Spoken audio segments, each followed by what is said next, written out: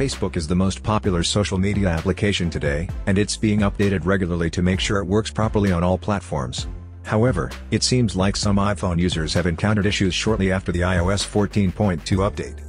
In this video, we will show you what to do if Facebook does not load properly on your iPhone 11 Pro after the iOS 14.2 update. First solution, force restart your iPhone. Most of the time, app crashes are minor app issues. They occur every now and then but they're not necessarily hard to fix. In fixing a problem like this, the first thing that you have to do is to refresh your phone's memory and reload all apps and services. Here's how. Quickly press and release the volume up button, and then do the same for the volume down button. The moment you release the volume down button, press and hold the power key for 10 seconds. Your iPhone will turn off and power back on. When the Apple logo shows, release the power key and wait for it to finish restarting. Once the reboot is finished, try opening Facebook and see if it still crashes. Second solution, uninstall Facebook and reinstall it. Another effective solution to this problem is uninstalling the app in question. Doing so will remove all its associations with the firmware and other apps. After that, reinstall the app to make sure you have the latest version. Here's how you do those things. Go to the screen where the Facebook icon is located. Tap and hold on its icon until options show. Tap Delete App. Tap Delete to confirm the deletion of the app. Once the app is successfully uninstalled, launch the App Store.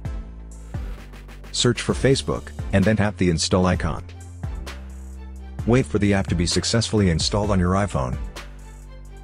When the installation is finished, tap Open to launch it. Most of the time, these are the only things you need to do to fix an app that keeps on crashing. However, if for some reason the problem continues, then you have to do the next solution. Third solution, factory reset your iPhone. A reset will be able to fix this problem but make sure to create a backup of your important files and data because they will be deleted and you may not be able to retrieve them. When ready, follow these steps. From the home screen, tap Settings. Find and tap General. Scroll down to the bottom of the screen, and then touch Reset.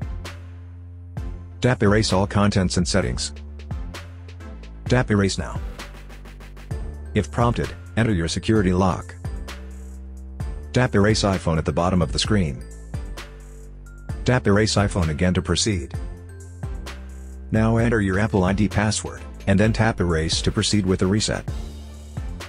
Wait until your iPhone has finished the reset, and then set it up as a new device. I hope that this simple troubleshooting guide has been helpful. Please support us by subscribing to our channel and enabling notifications. Thanks for watching.